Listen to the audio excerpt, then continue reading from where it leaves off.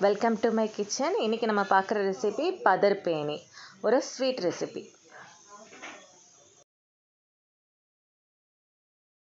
இதோட இன்க்ரீடியன்ஸ் பார்த்தலாம் மைதா ஒரு கப்பு கீ டோட்டலாகவே ரெண்டு டேபிள் ஸ்பூன் சால்ட் ஒரு பிஞ்ச் அரிசி மாவு ஒரு டேபிள் ஸ்பூன் சர்க்கரை ஒரு கப் ஃபஸ்ட்டு நம்ம பவுலில் ஒரு கப் மைதா ஒரு pinch salt one tablespoon of ghee நம்ம சேர்த்து நல்லா டைட்டாக பிசைஞ்சு வச்சுக்கலாம். அதாவது டைட்டாக பிசைகிறது வந்து நல்லா பிடிக்கிற அளவுக்கு பிசையணும்.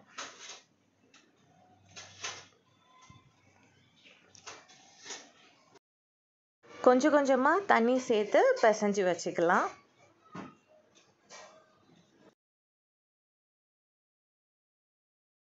மறுபடியும் ஒரு ஃபைவ் மினிட்ஸ் நம்ம நல்லா பிசைஞ்சு வச்சுட்டு ஒரு ஃபிஃப்டீன் மினிட்ஸ் அதை ஊற விட்டுடலாம்.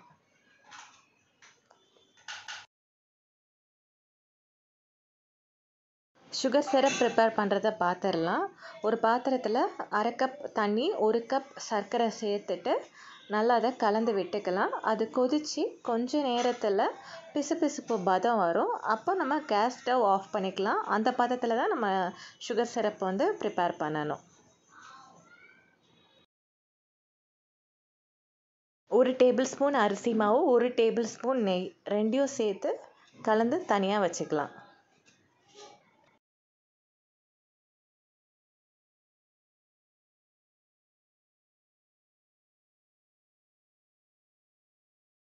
ஊற வச்ச மாவை எடுத்து ஒரு நிமிஷம் மட்டும் கொஞ்சம் பிசைஞ்சிக்கலாம்.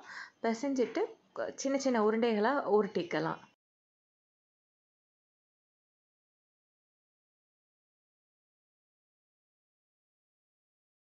சப்பாத்தி ப்ரிப்பேர் பண்ணும்போது நம்ம மாவு தட்டுற மாதிரி இப்போ இதுலேயும் தட்டணும். ஆனால் இது கொஞ்சம் இன்னும் நல்லா மெலிசாக தட்டி வச்சுக்கலாம். இதே மாதிரி கொஞ்சம் மாவை எடுத்து நம்ம தட்டி ரெடியாக வச்சுக்கலாம்.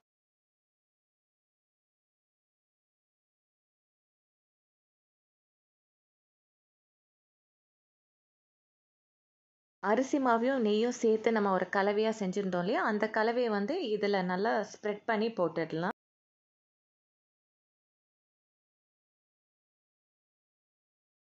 இது முழுசாக நம்ம ஸ்ப்ரெட் பண்ணி வச்ச பிறகு நம்ம தட்டி வச்சுருந்த இன்னொரு மாவை எடுத்து அதுக்கு மேலேயே நல்லா ஒட்டிடலாம். மறுபடியும் அதுக்கு மேலே நம்ம வச்சுருக்க அந்த கலவையை எடுத்து நல்லா ஸ்ப்ரெட் பண்ணி விட்டுக்கலாம். மறுபடியும் அதே தான் பண்ணணும். இன்னொரு தட்டி வச்சுருந்த மாவை எடுத்து மேலே போட்டுட்டு மறுபடியும் அதை நல்லா தட்டி விட்டுக்க வேண்டியதான் மூணு ஸ்லைஸாக நம்ம இதை அடுக்கி வச்ச பிறகு நம்ம இதை வந்து நல்லா டைட்டாக இப்போ ரோல் பண்ணி வச்சுக்கணும். இப்போ இந்த ரோல் பண்ணதில் இந்த எட்ஜஸ் பீசஸ் மட்டும் நம்ம தனியாக எடுத்துட்டு மற்றதெல்லாம் சின்ன சின்ன பீசஸாக நம்ம எடுத்து வச்சுக்கலாம்.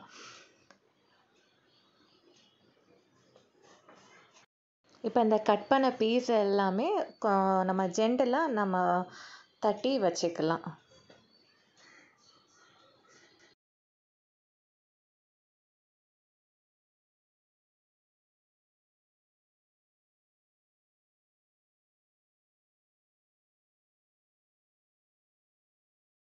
நம்ம இப்போ தட்டி வச்சது எல்லாமே ஒவ்வொன்றா எண்ணெயில் போட்டு பொரித்து எடுத்துடலாம். இது மீடியம் ஃப்ளேம்லேயே போட்டு நல்லா பொரித்து எடுக்க வேண்டியதுதான்.